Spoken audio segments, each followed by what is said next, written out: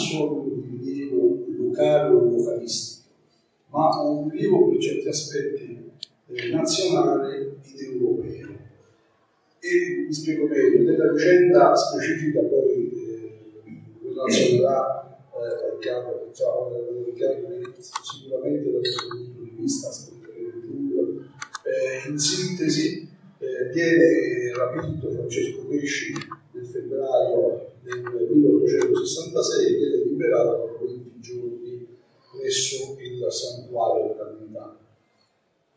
Ma la vicenda è una vicenda più ampia e si inserisce nell'ambito del dibattito europeo di quel periodo, e cioè lo Stato pontificio che eh, era rimasto dopo la spedizione delle Mille, eh, l'unico diciamo, nel centro Italia, e difeso strenuamente da Napoleone III. Eh, lo Stato Pontificio aveva appoggiato Fernando II e la lotta alla comunità d'Italia attraverso il brigantaggio, eh, in modo diretto e lo Stato aveva avuto una reazione ampia e, e importante, aveva mobilitato l'esercito, eh, il generale Ciardini aveva al comando 120.000 soldati per affrontare il problema del brigantaggio e a mano a mano che veniva eh, il fenomeno si distruggeva dalla Basilicata, dalla eh, Campania, tendeva a stringersi lungo i confini dello Stato pontificio perché chiaramente era quello che dava il supporto logistico alle bande dei migranti. gli Stati europei eh, appoggiavano l'Italia, meglio l'Italia, la richiesta eh, di Vittorio Emanuele II e dei suoi presidenti del Consiglio eh, affinché terminasse questo appoggio logistico. E Napoleone III al Papa gli diceva a un certo punto, dico guarda, qui puoi più tollerare il brigantaggio, perché se lo tolleri io sono costretto a, a praticamente a non poterti più proteggere. E quindi eh, di fatto. E allora ci fu la necessità, quando il cardinale Antonelli, che era il segretario di Stato, capì che la situazione stava giungendo ad un punto di ritorno, e si decise insomma di chiudere la pagina del brigantaggio, ma lo si voleva fare in modo dedicato, cioè senza eh, creare problemi logistici, guerre, eccetera. E si individuò una persona di fiducia del cardinale Modelli motivi storici, perché Francesco eh, Pesci figlio di Pesci, era stato confavoriere della città di Albano, aveva avuto rapporti importanti ed era in eh, rapporto diretto di amicizia, di comparare con il segretario di Stato. E quindi fu scelto Francesco Pesci come mediatore con i briganti. Quindi andò a Roma, ricevette in qualche modo in maniera semi-clandestina questo incarico con tutta la diffidenza di Pionomo, Pionomo questa diffidenza la mostrerà anche dopo, diciamo, rispetto alla segreteria di Stato, e lui, diciamo, eh, parte da Roma, va a Porcino con il suo sodale, il, eh, il parroco di Porcino era Filippo eh, Patriarca, eh, si incamminano verso Tredi, vengono, hanno un incontro con i briganti, briganti hanno paura in qualche modo di essere stati traditi, quindi lo capiscono, chiedono un riscatto, inizia una trattativa, e quindi la, la, la vedremo nel dettaglio, viene rilasciato subito il canonico Filippo eh, Patriarca, rimane, lui viene portato due giorni a Ferino, della corte di campo della pietra a, a Valle e la cosa particolare, poi quando si vede in relazione, per cui viene sempre trattato grande rispetto, nel senso che a partire dei contadini portavano, da quattro contadini che portavano i viveri a questa banda di brigante di Vitto eh, e lui veniva servito sempre per primo, eccetera, eccetera. Ad un certo punto avevano chiesto 10.000 soldi di riscatto, questi soldi vengono pagati, non si sa da chi. All'inizio 30.000, poi eh, c'era stata la, la moglie Giuseppina della Fattima, eh, e ad un certo punto questi soldi vengono pagati e probabilmente non sappiamo nemmeno la cifra perché poi viene capitato la esatto viene mobilitato il colonnello Tarpolini, parte da Giunti, la zona eccetera e viene liberato. A un certo punto però non si trova nessun brigante. Pio IX si rifiuta di dare la medaglia d'onore a chiunque perché non c'era stato nessun, nessun brigante non c'era stato nessuno, questo era stato liberato, è stato portato trionfalmente a Valle Pietra, presso il palazzo del padrone Ricciotti, a Valle Pietra, grandi feste, grandi feste a Prego, grandi feste a Fighiettino, perché era stato liberato Francesco Pesci, e la questione finisce lì. E non è semplice, poi finisce lì, diciamo, per tutta una serie di questioni che riprenderemo. Volevo solo aprire un inciso. In quel periodo le bande di briganti avevano un rapporto diretto con la popolazione. Da noi eh, ce n'erano due importanti che stazionavano a Capodacqua e che stazionavano giù alle Vallecchie e che la gente doveva mantenere. C'era un rapporto di complicità e di sudditanza. Le porte del, del, delle mura di tre venivano chiuse. Le quattro porte che noi avevamo, porta napolitana, porta della nuova, portella e eh, porta romana, venivano chiuse la sera. Erano state riattivate le mura perché eh, in qualche misura questi avevano, cioè i briganti erano sempre dati, formalmente appoggiavano la cioè poi realmente questi razziali avevano bisogno di maggiore quantità. Io in molte occasioni ho raccontato l'episodio della nonna di mia nonna, in Antonio, questa ragazzetta che aveva 14 anni, per sei mesi dovuto dormire al Carbonaro, il padre diceva che era andata nei castelli romani, nei dei castelli romani, perché la volevano come riscatto non so l'ora del riscatto se non gli portava a 16 militari di grado. Per farvi capire, e parliamo della nonna di mia nonna, come accade in una nonna eh, di, di, ognuno di voi, la nonna della nonna di voi, quindi capite che rapporto, quando le persone raccontavano le storie dei briganti, persone di treni, raccontavano storie vere, vissute dai nostri eh, nonni, quindi nonni dei nonni quindi la percezione di questo brigantaggio è una percezione assolutamente vicina e dal punto di vista antropologico e sociologico è stata poco studiata da questo territorio perché è stata subito dimenticata. Tant'è che l'ultima volta che sono state sistemate le comunità cittadine l'anno nel 67. Ritorniamo al discorso dei pesci. Tutti hanno interesse a non parlare di questa vicenda primo luogo l'Italia che aveva un pari, quindi l'Italia che teneva sempre l'occhio su Roma, perché ovviamente era quello, e di lì però a due mesi doveva firmare l'accordo con la Russia per l'intuizione anti-austriaca. Ricordiamo che lì a, a qualche altro mese, a giugno, ci sarà la battaglia di Custosa, dove eh, il generale Lamarca, che era presidente del consiglio si divisero per comandare l'esercito. Il generale Giardini fecero il pastrocchio più drammatico per la nostra storia, eh, nonostante avessero il doppio delle forze, riuscivano a perdere, proprio perché si era, l'esercito si era inserito nella battaglia del, contro il brigantaggio, tra le altre cose. Anche perché in due non si parlava. Non si parlava, cioè, c'era, eh, avevano creato due eserciti diversi, insomma, quindi un esercito combatteva e l'altro sul lincio aspettava l'esito della, dell'altra battaglia. Quando Vittorio Emanuele II disse a Cellini adesso passa il cosa perché le truppe dell'arciduca all'estero erano praticamente stremate dalla battaglia che avevano vinto, quello si rifiutò di passare, dice no, è meglio, è meglio di no che non lo facciamo. Quindi immaginiamo già allora, insomma, con l'umiliazione di dover ricevere Venezia dai russiani che avevano vinto a sopra.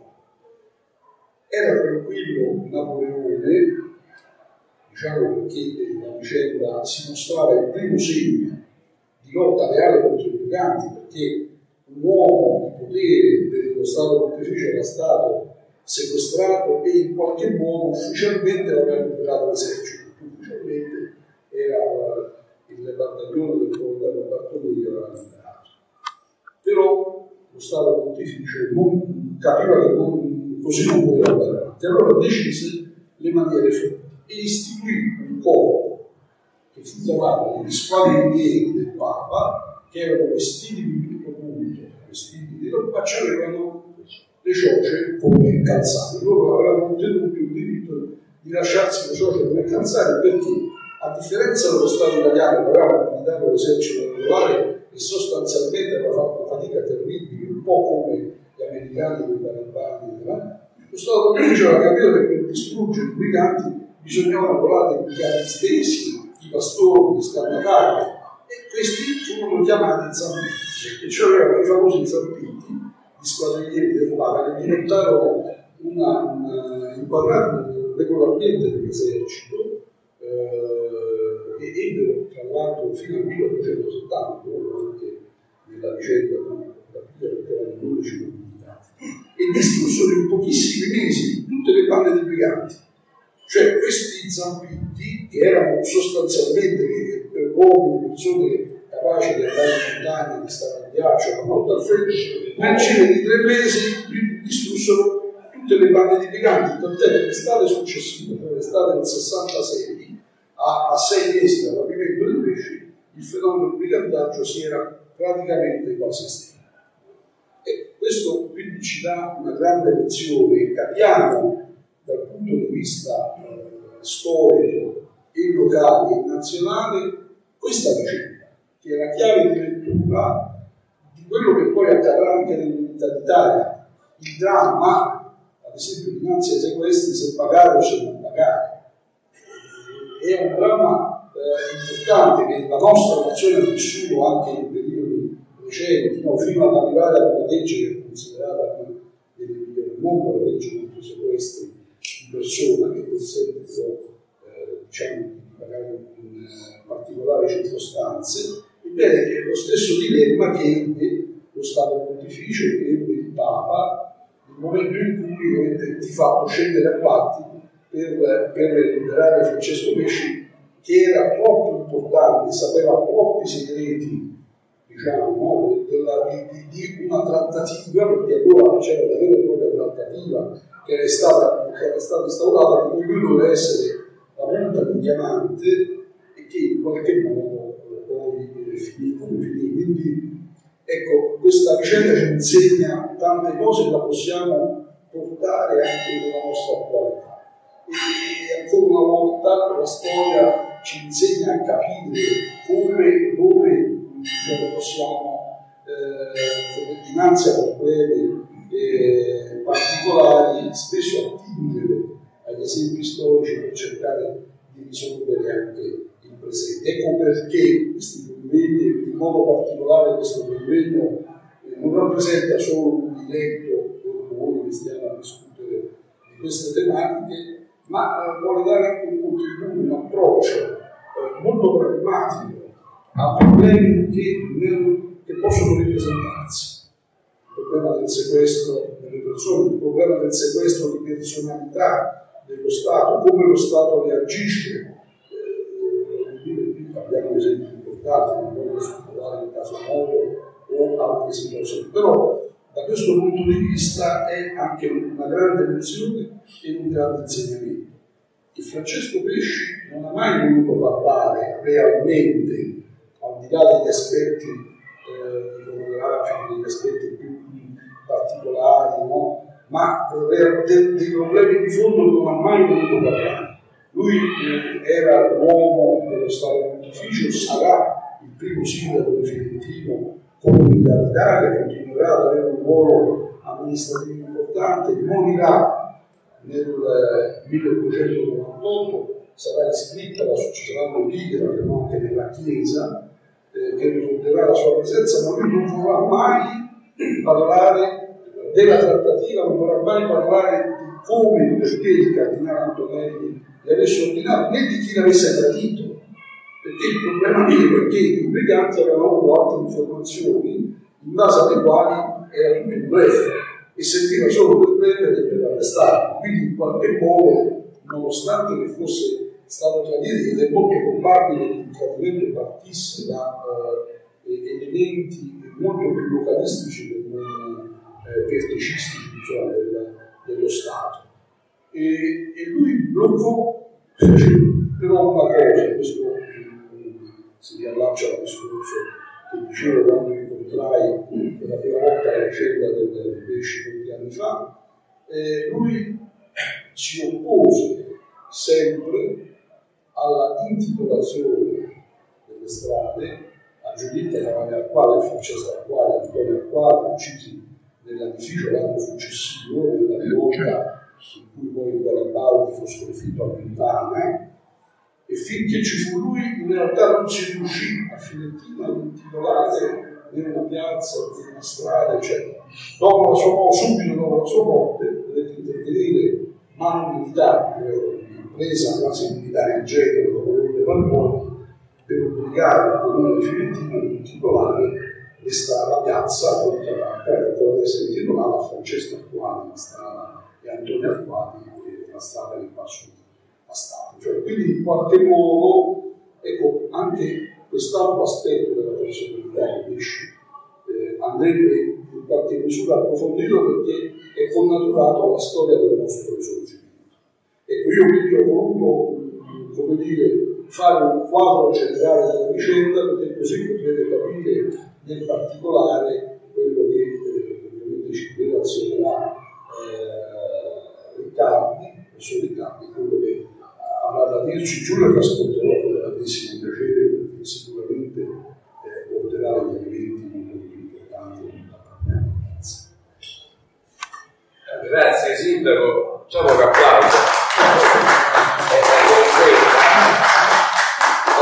Sindaco Silvio Grazioli, grazie per la visita, l'ospitalità, tanto saluto anche alcuni miei amici che vengono dalla parte sud dello Stato centrale o Valvadere, direttore sì, ingegnere attivo e ingegnere dello Stato. Rivedo con molto piacere Giulio Bianchini, non ci vediamo più dai tempi dell'archivio, era ottimo, eh, reggente, direttore veramente poco tempo fa ho rimpianto quei tempi, perché come pensare, e capitare la pezza di San Piccolo che poi abbiamo risolto grazie a voi e ringrazio tutti quanti voi chiaramente per aver dedicato questo vostro tempo domenicale a, a queste, queste argomentazioni di natura storico-culturale che come diceva il sindaco Grazioni non sono cose che appartengono al passato e poi troveremo anche tante attinenze con l'attualità stretta per capire e questo già il sindaco Grazioni è stato stato, che è stato di grande aiuto, prometeutico, per capire il sequestro pesce. Bisogna necessariamente fare un minimo di introduzione su quello che è stato il brigantaggio della provincia papalina di Campania e che provincia di Campania più che altro, perché la Libia siamo più verso il mare, che è grosso modo quella che oggi eh, nella provincia di Frosinone con l'aggiunta della porzione meridionale che prima apparteneva alla terra di Lavoro, quindi era il Liri che, che il confine fra uh, la terra di lavoro e la provincia di Campania, che prima apparteneva all'altra terra di lavoro, apparteneva al Regno di Landa, al Regno del Brasile, poi dopo 1860 al Regno di Bisogna dire che a differenza di quello che accade, che, era accaduto nel, nel, nel, nei primi decenni dell'Ottocento, dove c'era nella provincia di Campania, quindi nello stato della Chiesa, eh, una, un brigantaggio autonomo, Dopo il 1860 il brigantaggio è stato combattuto soprattutto di importazione reticola, erano soprattutto le banche del periodo del Regno Capo, del Regno delle Sicilie, che sconfinavano e che quindi compivano le reazioni del territorio, del territorio questo fenomeno nella provincia di Campania fu molto rilevante, molto e assai violento, soprattutto fino al 1960, dal 62 al 64, 65. Perché c'era quella, quella, dire, quell'atmosfera, se così possiamo dire, di cui parlava precedentemente Silvio Grazioni. Non possiamo ignorare che eh, Garibaldi prima e Vittorio Barbarella secondo dopo avevano messo le mani appunto, appunto vari militari sul vecchio regno, sul glorioso regno delle due Sicilie e si erano appropriati di questa, di questa, di questa l'Italia meridionale con una manovra ardita assai poco democratica, no? Sappiamo, quindi era stata quasi un'invasione e in che preoccupava molto Piolotto. Perché? Perché lui riteneva, e secondo me giustamente, che prima o poi questo curioso re Sabacco, istruttore della seconda quei baffi eh, voluminosi, prima o poi, essendo molto vorace, prima o poi avrebbe invertito anche quel che rimaneva del vecchio Stato pontificio, perché nel 1860 lo Stato pontificio era ridotto praticamente alla sola regione laziale, e quindi quale atteggiamento dovevano seguire le autorità papaline del, del primo quinquennio uh, del decennio post-militare? seguirono in via di massimo l'atteggiamento di palese connivenza con chi tentava eh, in tutti i modi di, eh, come dire, di dissassare, di disarcionare il, malfermo Stato unitario ancora poggiava su gambe poco sotte e che questi erano i briganti, cosiddetti briganti, alcuni chiamano insorgenti, altri chiamiamo briganti perché è un termine ormai entrato nell'uso, politico. Quindi il primo periodo, perlomeno fino al 1964, è un periodo di palese convivenza. I documenti di archivio, Giulio conosce benissimo, parlano di guardie che stavano alla frontiera, che permettevano il passaggio di questi briganti e addirittura dicevano quasi tanto questa è roba di, di chiamone che va ad aiutare Franceschino, cioè quindi c'era quasi più boss viventi, ci facciamo ripassare tanto questi questi vanno ad aiutare il deposto re.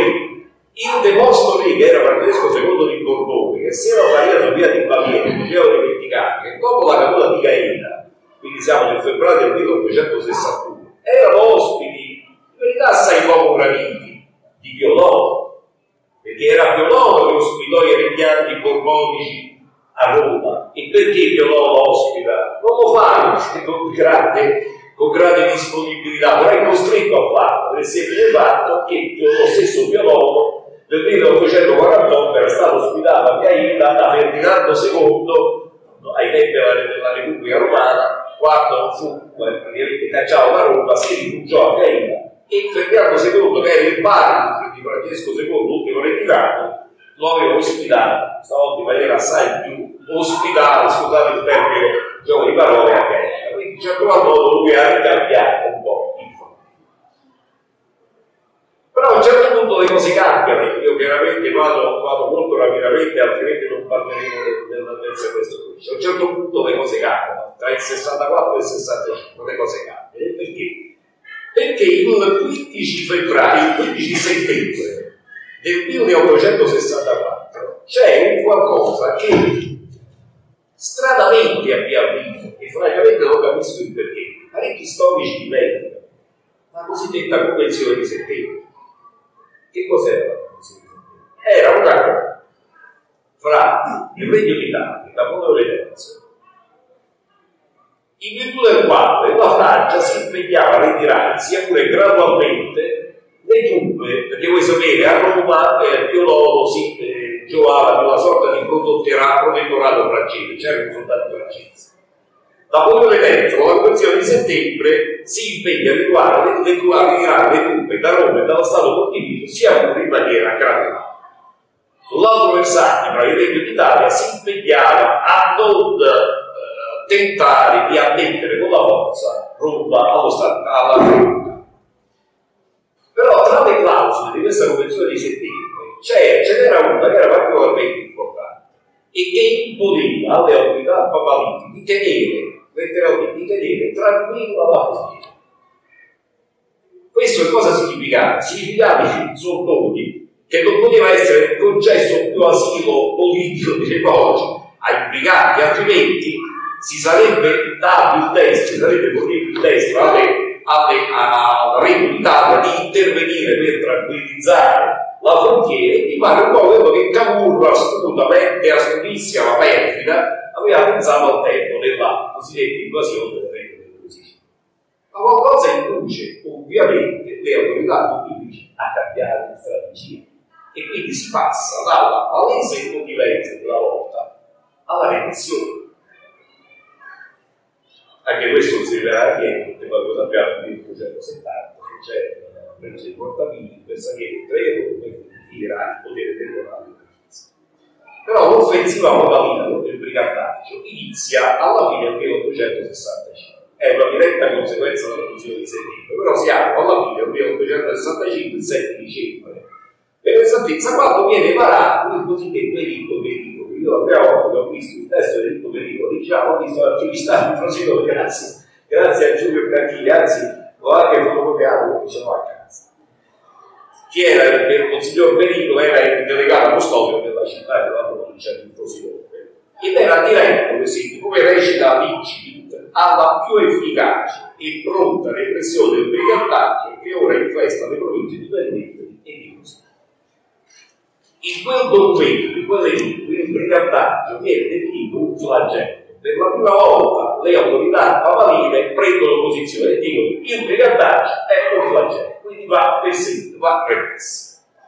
Si tratta di una serie di norme dirette soprattutto contro i brigati, ma anche contro i manutenti, che erano quelli che eh, foraggiavano i brigati e quindi permettevano l'esistenza la, la permanenza in vita di questo fenomeno. Veniva istituita una tra le altre cose una commissione mista a tre tocati e tre militari ai quali era affidato il giudizio dei reati Caracci. Quindi c'era stato un totale capovolgimento L'11 luglio dell'anno seguente, 1866, Monsignor Pericoli evade un secondo editto che però stranamente va a modificare, poi questo lo spiegherà Giulio perché io non riesco a modifica mentre la legge Pica, che era stata nella rete Sicilia, dava ampia facoltà ai militari di eh, perseguire reati di brigantaggio, il signor Pericolo del secondo editto Pericolo praticamente quasi, tutto, non completamente, ma esaura quasi l'elemento militare.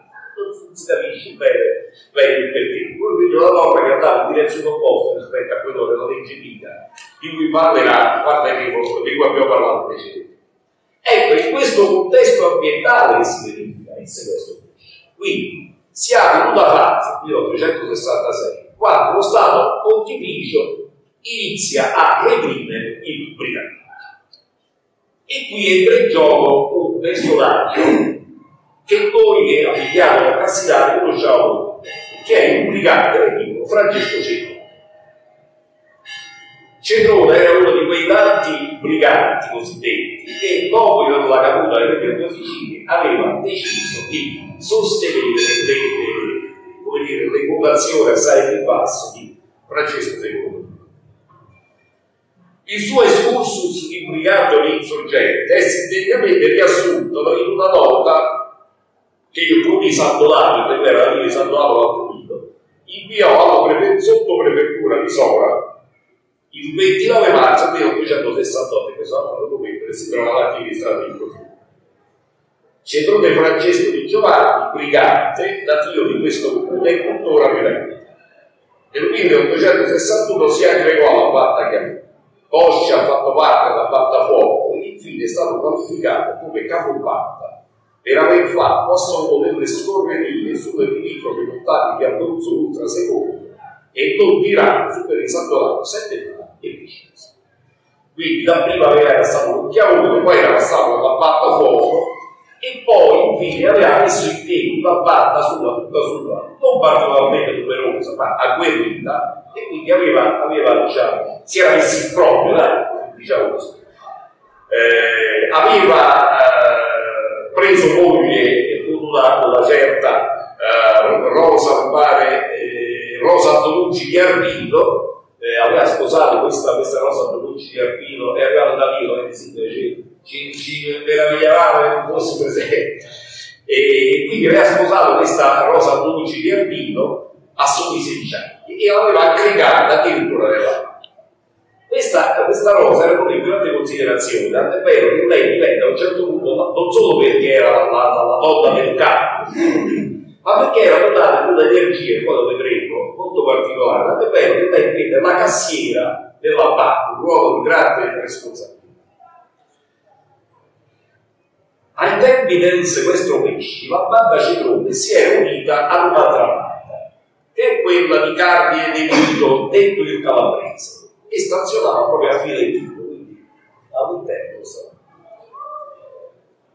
Come abbiamo detto prima, le autorità navaline non vedevano in buon occhio la presenza di impiegati all'interno dello Stato, altrimenti si sarebbe infratta la famosa clausola della Convenzione di settembre, si sarebbe dato l'adito alle truppe militari di invadere lo Stato pontificio. Quindi fecero del tutto per, per cercare di, di costringere o con le cattive o con le buone la, queste bande a scocciare. E si dà questo incarico proprio a Francesco Cavaliere, Francesco Pesci, di cui non venire bene quello che già detto sì, perché è stato più, più che esaustivo. Assieme al canonico di Guarcino, Antonio Patriarca, eh, si recò in missione presso, presso la Batta che stazionava in località fiumata. Quando però le cose sembravano andare per questo giusto e quindi si erano allacciate questi, questi, eh, queste trattative, questi colloqui, ecco che fanno irruzione alcuni trovati pontifici, brigati che credono che si tratti di un tranello e quindi reagiscono sequestrando i due e riportano le prese del santuario di Valle Pietra chiedendo alle famiglie un sostanzioso riscatto. Siamo al 2 febbraio del 1866. Qualche giorno dopo il canonico di rilasciato, il 6 febbraio, mentre solo pesci potevano rimanere regali e i gettati, chiaramente papà del Stato Il 7 febbraio, in località Caforchitto, vedo così l'ho trovato, ci fu un vivace scontro a fuoco tra i briganti e le guardie e i gettati in cui rimase uccisa proprio Rosa Antonucci, la moglie, la compagna del capopatta Ceducci. Pensate che aveva soltanto 28 anni ed era madre di quel bambino. Così descrive l'episodio, io tenete parto di la brigatessa Citrone, in effetti è Rosa Antonucci, nello scontro avvenuto in occasione del gatto pesci con la compagnia Granatieri, comandata dal capitano Conte Odoardo Felici, quindi vecchi, nel saltare un fossato cadde malato. Le fu sopra un gigantesco granatiere, certo piccolino, al quale essa, vedendosi perduta, fece mostra di arrendersi. Il piccolino, scambiando alle vesti e dall'aspetto di un giovanotto brigante, si tirò per tirarla dal fosso, quando la fiera lotta, con lo sforzo disperato, gli afferrò il collo con tanta forza e violenza che l'avrebbe certamente strancolato se non fosse accorso pronto l'altro soldato, il fuciliere Rossi, che l'affrettò con un colpo di fucile nel fianco destro. Soltanto dopo morta si vede a conoscere il sesso di quella sciagurata che di donna nascondeva le forme non possedendo l'arma e i gentili sensi. Chiaramente questa è la risonanza partorita, adesso è una piazza chiaramente di parte, in cui si vede chiaramente l'odio che, covava nei confronti di questa, del, del fattore brigantesco. E un piccolo inciso, questo che se abbiamo la possibilità, che, eh, che è avvicenda del tuo racconto. La brigantessa, una volta uccisa, fu portata a Pozzo di Muro a Filettino e c'è una foto, dove sta sul Muro, e, e l'episodio raccontato, scritto dall'ex presidente del Tribunale di Frosinone, Zapparoni, che quando lui giunse nel 1940 parlò con delle persone, questo lo ricorda, che erano dei bambini in quel periodo che avevano vissuto bisogno, eh, quindi eh, fu una scena drammatica per vedere insomma una donna a corso di uccisa creò cioè, però fa in pari un po' con, con sia l'uccisione di Crea di Cesare a, a casa di Liviano ma anche quella del brigante Domenico Fuoco che viene ucciso nell'agosto 1870 e il cadavere di questo brigante viene con la testa quasi staccata dal collo, viene portato in tutti i paesi della, della valle di Comino per far vedere alla gente che effettivamente quel brigante era morto e quindi non si doveva più temere. Ma torniamo al semestre pesci. Quindi, dopo questo scontro, eh, il cavaliere continuava a rimanere nelle mani dei briganti che chiedevano a ragione di avevano 30.000 scudi, cifra esorbitante per iniziare. Però, mentre le trattative andavano avanti, i centanti e i paladini accerchiavano la conta, accerchiavano la conta e la mattina del 20 febbraio partì l'attacco. Anche qui c'è una, una testimonianza che è sempre il solito Bartolini, però io ritengo che sia utile, utile leggere, perché questo è, il momento del, dubbio. I briganti rimasti nella grotta, ai primi colpi di fuoco, uscirono e presa posizione a sinistra della truppa, aprirono contro di esso un primo fuoco di moschetteria. L'attacco per questo però non fu rallentato. I soldati si spinsero coraggiosamente innanzi, fugando i briganti, che dalla loro ritirata riuscirono a trasportare i loro feriti. In ben che non si dice, la grotta fu occupata. Di prima ad entrarvi furono il gendarme Vittori ed il volteggiatore Quattroni, che misero in fuoco un brigante e l'altro che era per uccidere una fucilata in povero. Il brigante, favorito al terzo fumo che erano nella grotta, riuscì a sfuggire ai colpi dei soldati. I briganti alla fuga lasciarono nella grotta cappe, armi, munizioni viveri e nel fuggire pure lasciarono cadere mantelli, cappelli che vennero raccolti dai soldati.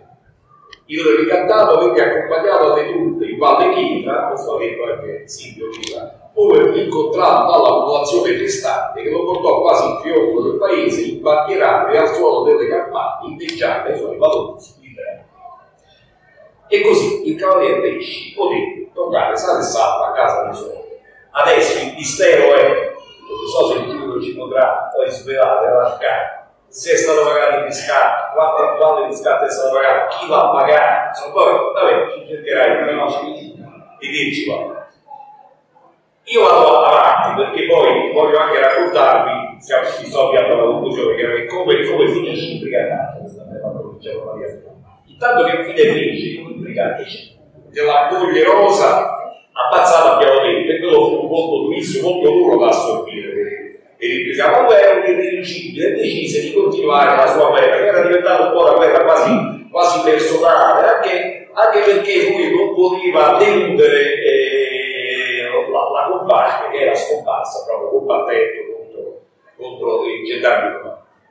Eh, da più parti si tentò anche qui attraverso lo zinc di costringere il cetrone alla, alla renza, ma io ho trovato una cosa molto interessante, sempre dall'archivio di Frosinone, che io mi auguro vivamente, caro Fulvio, che non abbia a chiudere il battente definitivamente. Io lo chiudo, speriamo che però, insomma, perché poi sarebbe veramente una cosa... Eh, io l'ho visto mal ridotto ultimamente, però insomma speriamo che...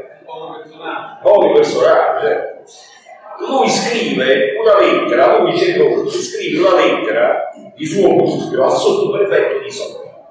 È datata 3 dicembre 1866, quindi Cetrone scrive al sottoprefetto di Sopra. Perché scrive al sottoprefetto di Sopra? Perché il sottoprefetto di Sopra si era adoperato nel tentativo di favorire la sua presentazione. E quindi ecco il testo che è molto, è molto interessante perché è abbastanza scarabagliato. Io sono, dice Cicerone, immensiamente grati a tutti ciò che la signoria vostra mi dice, ma non sono al caso di acconsentire, per la quale non posso, perché mi fu fatto una ingiustizia a torto, mentre io non ho verità. Peraltro poi, io non sono capace di fare alcuni tradimenti, perché l'onore dell'uomo è sempre tu. Quindi dice, io sono l'uomo d'onore, non posso tradire. Signore, rimettiamola poi, questa è la parte più bella. Signore, rimettiamola a voi. Se qualche persona venisse alla vostra signoria e vi dicesse, voi dovete tradire il vostro sovrano, dunque lo fareste? Cioè, lui dice al sottoprefetto, se qualcuno gli dice vuoi tradire il tuo, il tuo re, tu che cosa faresti? Certamente che no, e così ancora io non mi curo di morire, ma non farò questo barbaro. Mi sta un po' a dire, cioè dice, non se ne parla proprio, insomma, di consegnare. Però c'è proprio sotto sotterraneo un uomo ragionevole, bene, ha capito che il tempo del brigantaggio stava volgendo alla fine e quindi decise che continuare a combattere non serviva più e decise come dire, di, di, di, ritirarsi. E così si presentò spontaneamente alle forze dell'ordine e era il 5 febbraio del 1860 proprio grazie a questo suo atto diciamo, spontaneo di presentazione non fu condannato alla capitale ma in carcere a vita però poi uscì subito su qualche tempo dopo non restò sicuramente a lungo in carcere tornò al suo paese natio che era stato a Anticone e lì visse immagini una volta facendo un tagliamento, una cosa, una circostanza che i brigati non era molto usuale. Allora ecco, voglio dire due parole conclusive sulla fine del brigantaggio alla provincia di Parigi. Ormai il fenomeno si era trasformato, il politico non c'era rimasto quasi più dietro, ormai un fenomeno di natura sociale che sconfida spesso e volentieri anche nella, nella criminalità, negli atti di delinquenza non c'era più nessun vessillo da agitare. Nel 1967, il 18 marzo, Monsignor Perico Reparo dà il terzo che conteneva il inasprimento delle pene, delle misure, soprattutto colpiva i, eh, i manutengoli che erano ben tre volte in tutta l'organizzazione brigatesca. I manutengoli che erano quelli che libri, informazioni, vestiario ai brigati che stazionati montani non avevano la possibilità di scendere eh, in, in paese.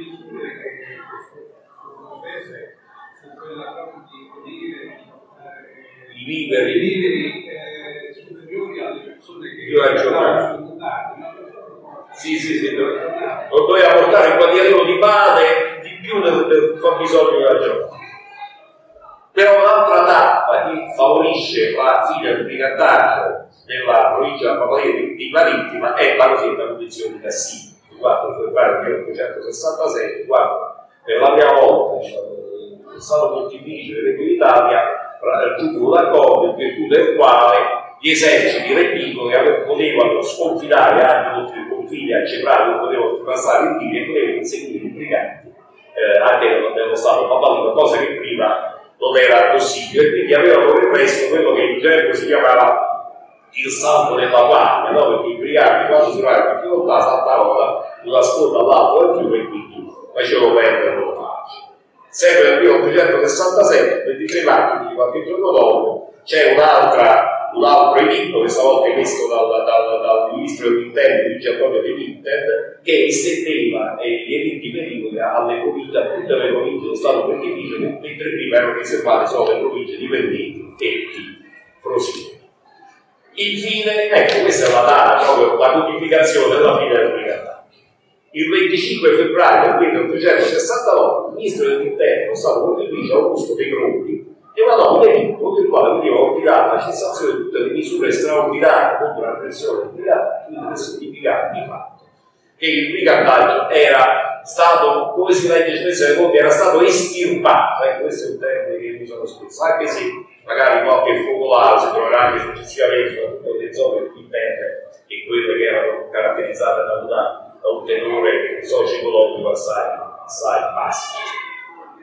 Ormai la fine del brigantaggio si avviava la fine della funeraria esistenza del, dello Stato della Chiesa. È vero che, come ha detto il Brasile, nel settembre 1970, approfittando della difficoltà inenarrabile da come terzo che aveva ingaggiato l'opera di prussiani, poi dopo la sconfitta di Senato, il 2 settembre 1870, venuto di meno di fatto il protettorato francese lo Stato pontificio i bersaglieri italiani di settembre avanzano su Roma attraverso breccia di Portavia, si investono di Roma e, e quindi finisce il potere mettendo fine definitivamente e per sempre al potere temporale della Chiesa e al regno di Pio IX che di fatto è stato l'ultimo dei cosiddetti Papa, una conclusione questa, del settembre 1870, inevitabile, quando ampiamente prevista. Ecco, io ho finito sperando di aver dato un quadro sufficientemente esaustivo di questo sequestro pesci, che come dice giustamente il sindaco Grazioni, è un,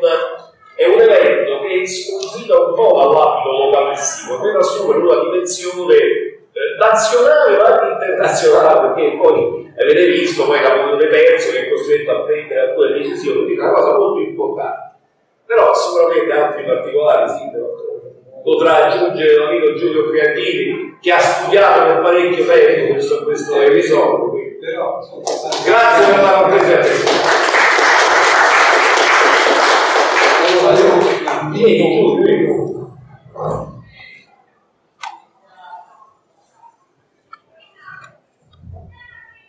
Parlavamo proprio prima che eh, Giulio si è molto eh, nel quadro che ci ha fatto eh, Nando sicuramente esce fuori eh, diciamo, una, un, un, aspetto del piantaggio soprattutto eh, non dei primi anni, della metà degli anni 60 che interessa molto le nostre zone e quindi assume questa connotazione. E non è secondario la riorganizzazione sul territorio della presenza del, del militare dello Stato Pontificio. Eh, c'era una caserma dei Locanieri stabile, con tempo in meno, collaborata per i problemi della transumanza filentina, c'erano sette locanieri, già insomma al 600, quindi nel 1864 fu sostituita uh, la presenza dei carabinieri dello Stato Pontificio con la gendarmeria. La gendarmeria era un ruolo militare e fu istituita una stazione di 15 gendarmi che, che quindi avevano un controllo del territorio importante perché questo eh, nella parte iniziale non ho detto ma in quel periodo si stava eh, iniziando si era già in parte la bonifica dell'acqua del Fucino. Cioè nel Regno d'Italia l'operazione che stava facendo il principe di Roma del prosciugamento dell'acqua era un ruolo essenziale e proprio per quello e, e, contemporaneamente sulla valle del Monete, proprio perché il vantaggio che saliva e c'era una presenza di quindi in qualche modo era stato chiesto allo Stato Pontificio di rafforzare questa presenza per evitare complicazioni sulla bonifica. Un terzo dell'acqua già nel 1866 c'era stato prosciugato e quindi in qualche modo c'erano anche degli interessi economici eh, importanti che vanno sotto e che portarono alla riorganizzazione della presenza del gendarme a Filettino ed anche a Tre. E quindi per questo in qualche modo ci interessa eh, in maniera particolare. Io avrei la parola a Giulio che sicuramente vorrei entrare proprio nello specifico. Allora, eh, io sono venuto diciamo, ad assistere a questo convegno così nemmeno sapevo bene che cosa, cioè volevo salutare sicuramente Fernando che conosco da decenni quindi era l'occasione giusta. Diciamo che non è propongo qualcosa, però vorrei aggiungere alcune cose, innanzitutto contestualizzare un po', spesso Fernando ha detto l'archivio, l'archivio di Stato di Frosinone. Lo Stato Pontificio era organizzato in legazioni e delegazioni, cioè territorio diviso tra uh, legati dove erano presenti i cardinali e i delegati dove erano presenti i vescovi.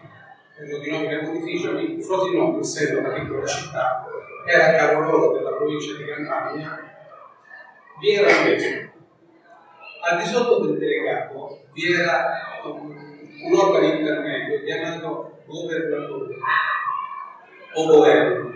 A capo del governo vi era un civile che aveva competenze sia nel campo civile che penale ed aveva uh, giurisdizione su un determinato territorio. Nello specifico, il nostro territorio, cioè Trevi, Filettino, Antico, Torre, Trinigliano, Vico nel Lazio, dipendeva dal governo di Guarcino.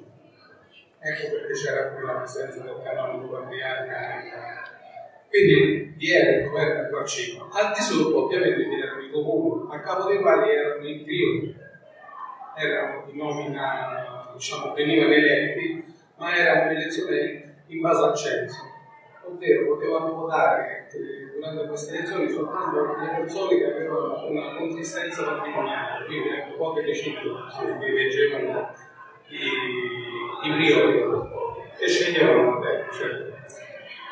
Questo era il contesto. Uh, il delegato, uh, il delegato custodico, corrispondeva ovviamente con il suo subordinato, il governatore, il quale governatore corrispondeva con i singoli Piero.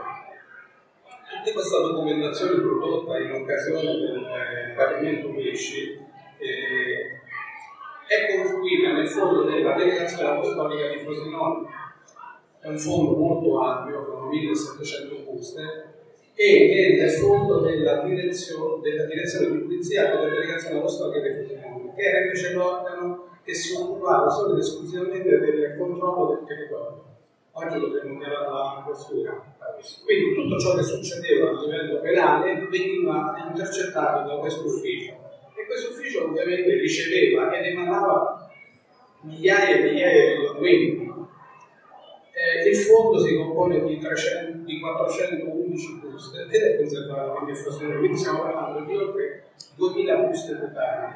E in queste 2000 buste vi è raccontata tutta la storia della nostra provincia dal 1815 al 1870 sia sotto l'aspetto amministrativo sia sotto l'aspetto criminale. E per quanto riguarda il sequestro, prima di, di, di andare a parlare un attimo del sequestro pesci, volevo um, completare un po' il discorso che ha fatto Fernando prima a proposito della, eh, del comportamento dell'esercito diciamo, sabaudo nei confronti delle popolazioni del sud. E, ci sono due episodi che a me eh, ancora oggi fanno rabbia eh, a pensare. Gli episodi di Ponte Landolfo e di Casalcuni mm, sono avvenuti in due paesi della provincia di Benevento il 14 agosto del 1861.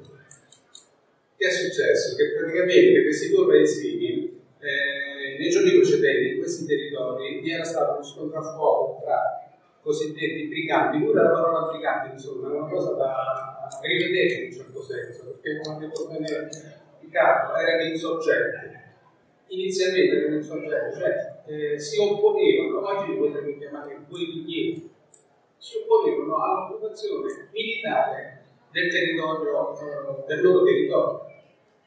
In questo, in questo scontro morirono una ventina di soldati sabauti, 41, circa e Cialdini, quando ha ricevuto la notizia, ha pensato bene di fare terra bruciata letteralmente, ovvero ha ordinato di eh, mettere a ferro e fuoco questi di tutta bruciato.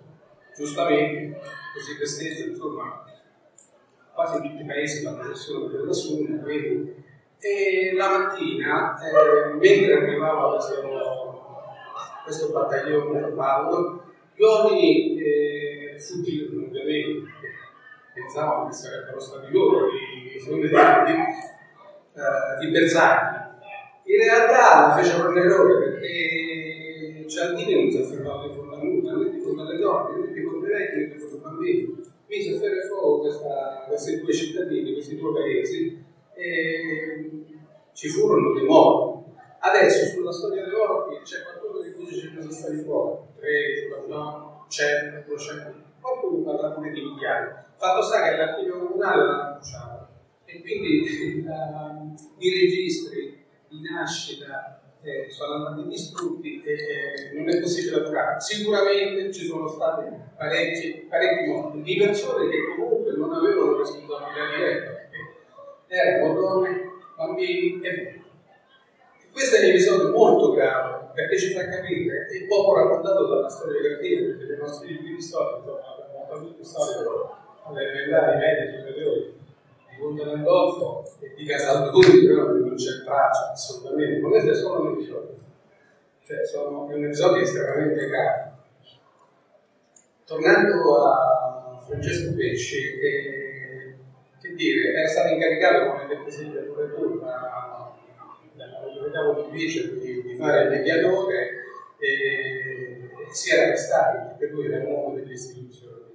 E, mentre facevano questa trattativa, eh, devo dire dai rapporti che io ho letto nell'archivio, in questo fascicolo eh, intitolato sequestro a pesci, composto da centinaia e centinaia di fogli, insomma, ho letto che per puro caso dei, degli usuali, due usuali, eh, che perlustravano il territorio, perché insomma c'era questo compito di girare il territorio, si sono fatti vedere, sono stati visti dall'avanguardia dei briganti. I briganti erano circa 60 e ovviamente furono, furono pensavano che fossero stati bravini, che fossero in famiglia, eccetera. Quindi sequestrarono pesci, sequestrarono materiali e sequestrarono il vetturale che li avevano accompagnati lontano a Fiumana, di Fiumana. Era il primo di febbraio, c'era la neve, faceva freddo e quindi, questo per far capire un po' quello che è successo in quel periodo, eh, I giorni seguenti immediatamente mandavano delle lettere manoscritte in riscatto alla famiglia Peppina, Peppina Pesci, di, Francesco, e ai, um, ai parenti, alla famiglia di Patriarca Guarcini. In queste lettere, nelle quali ovviamente imploravano il pagamento di questo riscatto, che era molto alto, 30.000 per, per pesci e 20.000 per Patriarca la, la moglie di pesce riuscì a trovare subito 300 studi che il giorno successivo furono consegnati e nella consegna ci furono anche due paia di vino, una cinquantina di camicie, eh, giacche, eh, caciotte, decine e decine di pagnotte di pane, cioè eh, pensate, 60 uomini in montagna con la neve in inverno, polvere da sparo, chiesero tutto c'è un elenco dettagliato di tutte le richieste fatte da queste persone, che vengono, e questo, questo materiale viene consegnato il giorno successivo. Questo però spinge pure, eh, cioè i americani si rendono conto che si trovano in una posizione poco difendibile, perché conoscete il mare, insomma, è una valle abbastanza stretta, e quindi loro tendono a trovare posizioni migliori in caso di attacco e se ne vanno sempre più su, salgono, esaltano la montagna, scavalcano Cafornico, Ceraso e vanno alle spalle della Santissima, campo, campo pietra, e trovano una caverna nella località Montagnone. E qui si fermano. Perché si fermano qui? Perché praticamente, eh, se conoscete spalle della Santissima, non so tutti ci siamo stati, è un territorio molto ampio, abbastanza visibile, aperto, quindi è facilmente controllabile sia dalla parte del Cerato che dalla parte di Campana e dalla parte di Valdiviero, perché allora la necessità di, di controllare. Tutti i giorni c'erano gruppi di briganti che perlustravano il pianoro della Santissima, girando in tutto il territorio, e il giorno 7 si ci fu quello scontro di cui parlava Fernando a Cafortino eh, il Caforletto si trova alla base del Punto Carino, se conoscete le località. E in questo scontro, insomma, morì il Rosso Cetrone che venne portato a Filippino, venne spogliata nella chiesa del cimitero, insomma, dice la chiesetta loro casa, nel cimitero di Filippino, venne spogliata, venne fatta ricognizione del, del cadavere e le trovarono addosso tantissimi oggetti che sono stati minuziosamente riportati. E nel frattempo gli organi militari si organizzarono, cioè oltre che pagare stavano pensando pure di, di liberare militarmente il nostro sequestrato. Era stato subito rilasciato patriarca perché era un prete, ma era soprattutto un prete molto fragile, era di principe, quindi lo lasciavano andare perché non serviva niente, pure senza, senza riscatto. Lui però aveva la sua famiglia facendo studi, proprio una stupidaggine rispetto alle richieste iniziali.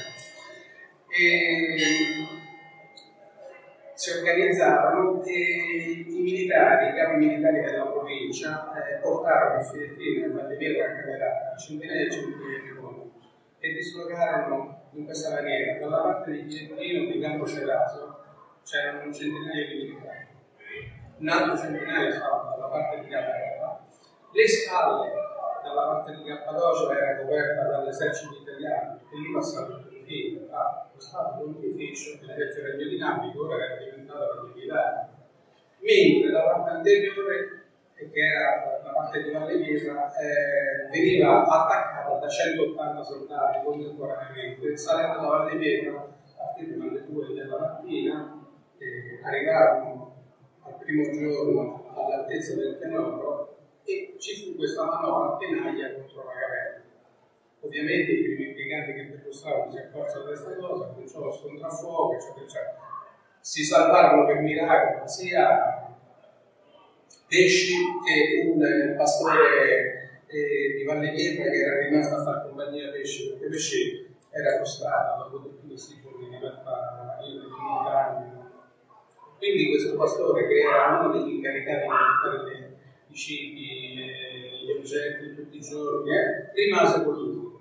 Questo alla fine dello scontro si ritrovò il cappello all'altezza della fronte all'occa per puro gallo fu ucciso. Comunque ci fu questo scontro e i briganti si sparpagliarono nella, nel pianoro, insomma, scapparono sulla neve e ci, nelle relazioni che accompagnano questo episodio si dice che molti saranno morti sicuramente nella Buscaria perché hanno trovato tracce di sangue, molte tracce di sangue. Però in realtà i briganti morti non sono stati mai trovati ovviamente poi come ha detto come è stato già detto fu portato dalla dieta di Francesco ci fu il paese come se fosse la festa della Santissima dice che tutta la popolazione inneggiava alla figura di Francesco al Papa la stessa cosa poi è successa a Filippino insomma questo è un episodio in sé strettamente eh, Un'altra, secondo me, a proposito della repressione del brigantaggio, Erika Cosente, il brigantaggio è un termine che piace poco, perché è stato utilizzato in settimana, prima dai francesi, già dai germani francesi che hanno utilizzato questo termine per dispregiativo. Preso per le Esatto, perché faceva comodo, perché in realtà io la, la, li chiamerei insorgenti. È vero che perlomeno per i primi anni, dal 60 al 60 1962, considerate che nelle, nelle nostre montagne sono gli ufficiali dell'esercito austriaco, ufficiali dell'esercito spagnolo, tedesco, per eh, riregimentare tutti questi insorgenti contro l'occupazione dei Sahara. C'era Dresden, c'era Zimmermann, ce ne sono tanti di ufficiali, Portes, ce ne sono tanti. Questo per dire che tutte le altre potenze vedevano in questi uomini la possibilità di potersi opporre militarmente contro l'occupazione italiana, che pensavano che sarebbe stata breve, perché pure l'hanno fatto portare inizialmente era quella che, o comunque l'idea era quella che sarebbe durata poco tempo, poi sarebbero tornati giustamente protocolli, perché in realtà poi la politica europea è andata diversa più, perché poi si è deciso tutto a livello europeo, le grandi potenze hanno deciso che i protocolli non era tutto per loro e per interessi hanno appoggiato un po' l'occupazione italiana che poi è diventata quella italiana. Però le tracce di questa occupazione ci sono dietro ancora adesso. Cioè questa eh, non unione italiana tra nord e sud era vicina in questi fatti, in Casalduro, in uh, Ponte Landolfo e in decine di altri episodi di questo genere. Perché poi queste cose, come diceva nord di mia nonna, sembrano di padre e figlio e questo porta a, a non accettare lo Stato centralizzato, cioè adesso è l'Italia, probabilmente. Al perché c'è stato questa in molti posti, come vedete dappertutto, nonostante siano 650 anni, perché è successo quello che è successo. Ci vorrà tanto tempo prima che possa essere superato, a meno che non venga eh, reso noto ufficialmente tutto quello che è successo, in maniera tale che la popolazione metabolizzi un po' quello che è avvenuto, che sono avvenuti fatti troppo gravi. Questo, avete domande, sì, io.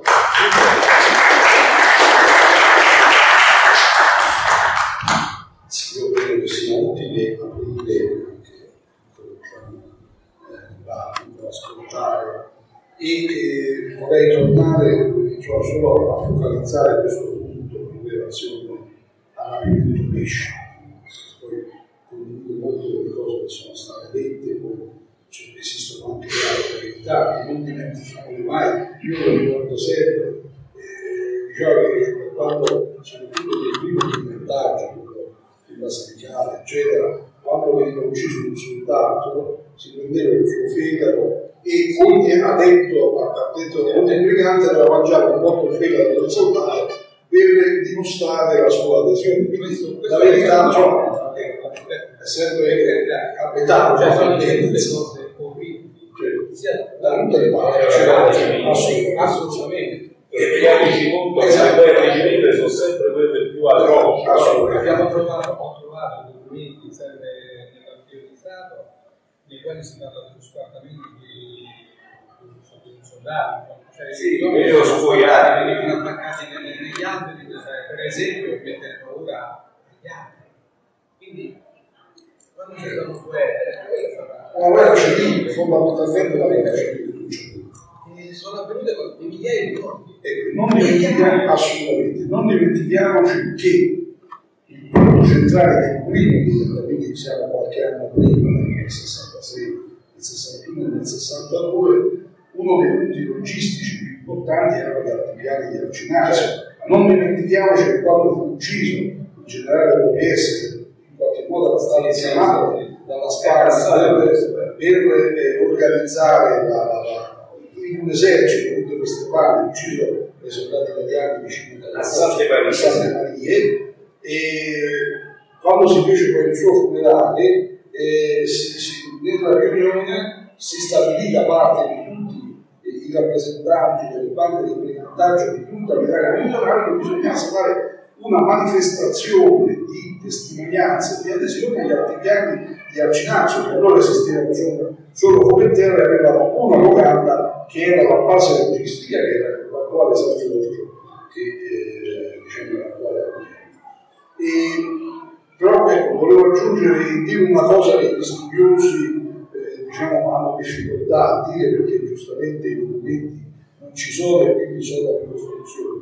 Francesco Pesci, che diceva Giulio, quando si sceglieva il sindaco allora chiamato Priore, il consiglio, e il consiglio si, chiudeva in questa sala per tre, eleggeva tre persone, una terna, questa terna eh, esprimeva il giudizio il governatore di Marcino e il delegato eleggeva il priore.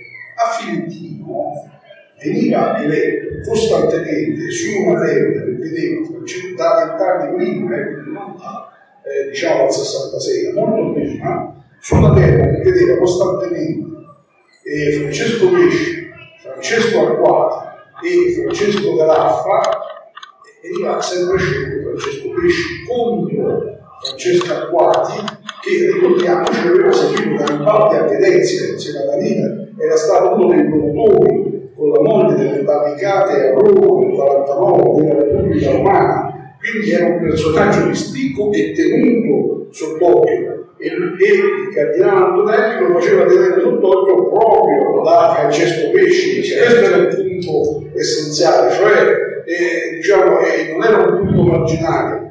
E Francesco Arquati, la famiglia Arquati, era una famiglia legatissima a Garibaldi, a Mazzini, al mondo della poesia, del risorgimento, ed è chiaro quindi che Francesco Pesci era l'antagonista dell'uomo che controllava i gli spazi, tant'è che poi porterà anche alla, ai famosi fatti del 67, della, della eh, diciamo, dell'edificio Iani, i fratelli Cairoli della battaglia alimentare di Garibaldi. Volevo dire una cosa, fine di porteria,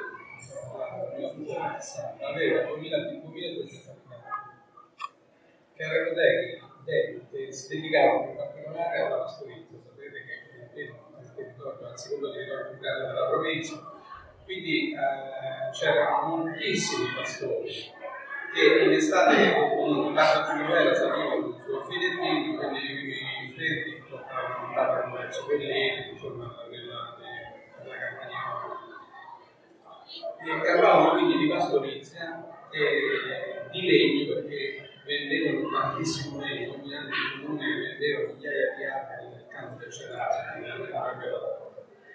e, e poi c'erano questi artigiani che lavoravano per sostenere, quindi sono tanti falegnami, coloro che facevano i cartoni, eccetera. E, quindi i possidenti filippinesi erano molto ricchi, molto più ricchi di quanto fossero altri. In alcuni atti notarili guardo Franco, perché Franco un altro collega di partito di Stato che abbiamo fatto insieme, atti notarili del Settecento, nei quali eh, le donne filippinesi ricevevano delle coronati, de, de, de, dei valori enormemente superiori alla media.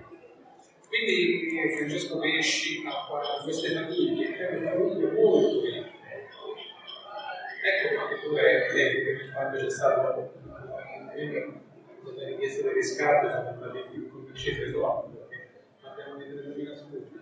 Prendiamoci conto che la moneta c'era il paiotto che valeva uno, c'era il palo che erano 10 paiocchi, c'era lo scudo che erano 100 paiocchi. Cioè, ci si scambiavano, sì, cioè, erano proprio. Quindi parlare di migliaia di studi, stiamo parlando di cifre enormi. E comunque la famiglia, perlomeno di mezzo, è riuscito a pagare fino a 3.000 scudi, bella cifra, oltre a tutte le spese connesse al sostentamento quindi al fitto, perché erano una spesa non so quanti, quanti soldi per i pane tutti quei giorni, pane, vino, tutto il resto. Quindi insomma erano famiglie molto ricche, ben state. Questo per chiudere un po' e contestualizzare meglio quelli che sono. Per sempre per dire quello che non si può dire, è che queste bande rappresentavano molte altre bande del territorio. Loro avevano dedicati tre campane che stavano, eh, parlare con Francesco Pesci e con Patriarca, rappresentavano quasi tutte le bande del, della, della campagna della provincia della campagna. Quindi è chiaro che il valore simbolico un valore alto. E il punto generale che non volevano che Francesco Pesci cadesse in mano eh, diciamo, del Regno d'Italia, perché questo è il punto vero, perché sapevano dove stava, mandavano, c'erano quattro persone per le chiede che ogni giorno portavano i viveri e, torno a ripetere, il primo servizio, questo che ha messo anche di Pesci, era Francesco Pesci, forse era una ragione particolare, quando lui dice che era legato, stava vicino a un albero e quando ci fu la sparatoria si gettò sotto il tronco di quest'albero, cioè, sono tutte situazioni di cui lui poi non ha più parlato. Il dato di fatto è che sono partiti molti soldi dal, dallo Stato, dalla segreteria di Stato, dal cardinale Antonelli, con la contrarietà del fiero del Papa, con la contrarietà del Papa, però di fatto in tutto questo schieramento di forze possibile nessuno è stato preso, è chiaro, qualcosa di... Cioè, non, tant'è che io non, il colonnello Bartolini voleva almeno una medaglia, però si rifiutò categoricamente e fece questo, mise in difficoltà. Per questo la stessa segreteria di Stato, perché diceva possibile che non prendiamo nessuno se sostanzialmente recuperare. E questo cioè, ci fa riflettere su quello che è accaduto e probabilmente su una verità che negli archivi vaticani non si è trovata, perché poi gli archivi insomma, ma attendono ad una situazione eh, per la quale poi Francesco Pesci torna a ripetere, lui non ha mai voluto parlare, non ha mai voluto dire eh, in realtà come stesso le cose, anche dopo la morte di, di, Pio anche dopo la morte l'anno successivo di Antonelli, di Cardinale Antonelli, e lui che era sindaco, quindi ormai si era integrato con il Regno d'Italia, ma non ha mai voluto parlare di queste esperienze. Cioè questo lo fa, ce la fa, ci fa immaginare tantissime cose. E quindi se ci sono ecco, domande, osservazioni, eh, Franco, dicevamo insomma questo aspetto più generale anche del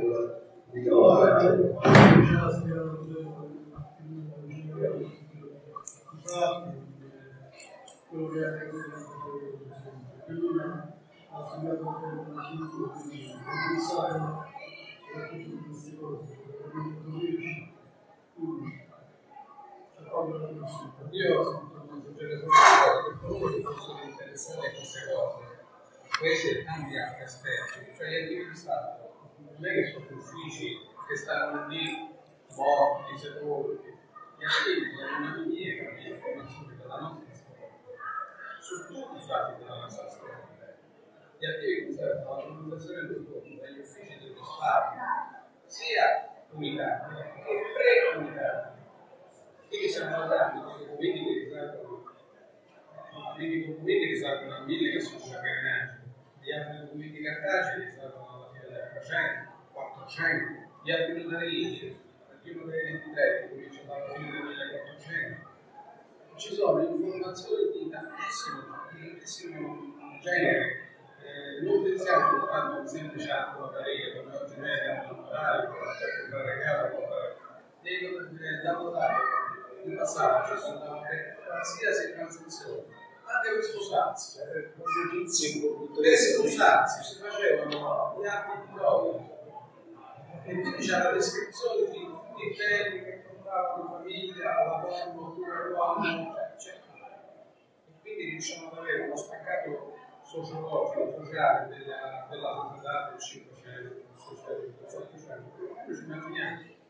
Quindi gli archivi sono liberi, hanno accesso libero, gratuito aspettano solo gente. Cioè, questa è una cosa che bisogna dire perché non è riservata a specialisti, voglio dire, non è che bisogna essere degli specialisti. Certo, all'inizio uno ha problemi di lettura, come ricordo, però io ho lavorato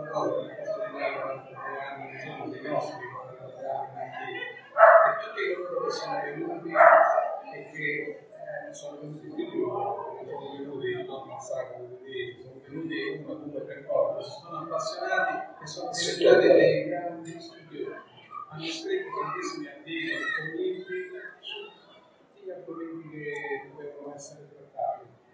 Ed è una soddisfazione enorme. Ricercare le nostre origini, le nostre, le nostre tracce, cercare di spiegare quello come oggi, quello che è avvenuto 150 anni fa. Forse dei grazie delle, delle tematiche perché siamo così oggi. Forse guardiamo pure dietro quello che è successo. Bene.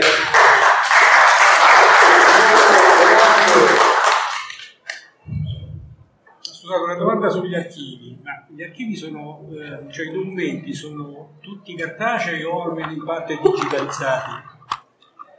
Eh, la gran parte sono caso, perché gli organi dello Stato hanno pubblicato, come dice, sia prioritarie che cose digitali. Ultimamente cioè, si usa molto di più il digitale e tante cose le abbiamo messe pure noi quando in Noruega in questi ultimi anni digitalizzato tantissimi fondi, per esempio adesso il distretto militare è tutto digitalizzato. Il distretto militare di Pordenone che parte dal 1977 e arriva al 1947 quindi tutti nati in questo lasso temporale sono parlando di una volta che sul capo 130.000 uomini, 140.000 uomini, digitalizzati, quindi se la funzione dell'archivio troverà deve essere nato ovviamente. Questo è l'archivio, l'archivio militare? L'archivio militare, la sezione, la questione, il distretto militare è un ufficio Il distretto militare. Quindi la comunicazione comunque da questo ufficio non è che viene buttata, viene stati. E quindi dicevo, questa particolarità l'abbiamo digitalizzato. E per eh, accedere al digitale soltanto diciamo, l'accesso è solo dalla, dalla biblioteca o anche da remoto? Abbiamo fatto apposta, abbiamo avuto centinaia di migliaia di richieste all'estero, possiamo dire. Perché lei sa che la provincia di Frosinone, intervenendo la provincia, l'attuale provincia di Frosinone, quindi il Cassinato sarà, perché la provincia di Frosinone ha collaborato con il suo territorio. Eh, lo so sapevo, Allora, eh, l'emigrazione ha ricordato dei territori, eh, questo si lega pure a ricordato, l'emigrazione dell'andamento del lavoro è più forte allora. Eh, è stata, è stata massiccia e si lega pure al brigantaggio, perché se vogliamo tanti e tanti motivi, tante ragioni, risalgono proprio a questi fatti. Sono partiti per tutto per l'America soprattutto la briganta dei migranti. Esatto. E quindi tantissime persone eh, discendenti oggi ci chiedono l'atto di il ruolo particolare del perché poi serve per ottenere la cittadinanza, perché sapete che la cittadinanza in Italia si ottiene scherzando. Quindi abbiamo persone che sono andate via nel 1800 non so quando e oggi ci sono i nipoti che non sanno parola l'italiano perché scrivono in portoghese, scrivono in spagnolo e cercano di avere la cittadinanza italiana per poi circolare all'interno dell'Unione Europea, cioè diventare pure questo un po' più diverso, cioè che oggettivamente nasce qua e bisogna che ci certo. Siamo tantissime domande di argentini. E quindi ecco, attraverso questo, questo lavoro che abbiamo fatto in questi anni, tantissimi hanno ritrovato le proprie, convinzioni. C'è però una quasia che tu lo sai, che purtroppo da, da, Frosinone in giù la quota del materiale d'archivio che è stato sistemizzato è notevolmente inferiore a quello del nord. Sì, però In. Sicilia, per esempio, non c'è stato, non esiste digitalizzazione degli archivi. E chi fosse interessato, per curiosità, controlli il sito Antenati. Antenati, andate su internet scrivete Antenati, vi porta sul sito sono presenti tutti gli attivisti italiani che hanno digitalizzato i propri soldi. E quindi potete trovare, eh, mi pare che l'ultima volta erano 110 milioni di file sono stati pubblicati, potete trovare tutto, ci sono proprio quelli di tre, che è quello che sta salvato, perché non è che c'è registri eh, dello Stato civile conservati a fondo, quello è un'altra storia. Nulla a che vedere con la digitalizzazione che gli Stati Uniti hanno fatto di tutti gli emigranti di- cioè d'Italia, per cui se vai là, qualunque controllo basta questo dovrebbe essere l'esempio. Io, come dicevo, dalle premesse, oggi è stata una giornata importante per il territorio perché abbiamo riacceso i fari su un aspetto centrale della nostra storia che coincide anche con una storia più ampia e la dovremmo valorizzare, trovare anche i modi per cercare di capire questo dibattito, di capire eh, le ragioni perché riuscendo a capire quella cosa. riusciremo anche Secondo me va studiato il mondo, va Esatto. indagare. e riusciremo anche ad avere una chiave di lettura per molte cose Sì. presenti. No? Non c'è. E quindi vi ringrazio, domani alla stessa ora vi aspettiamo, ci sarà la presentazione del libro di Massimo De Carpi, la signora, e la legge coraggiosa, che in parte autobiografico, in parte si riallaccia a una comunicazione che aveva fatto lo scorso anno sulla- sui detenuti della di Lager tedeschi sul loro di distintività. E quindi sarà anche molto importante, invito tutti a essere presenti.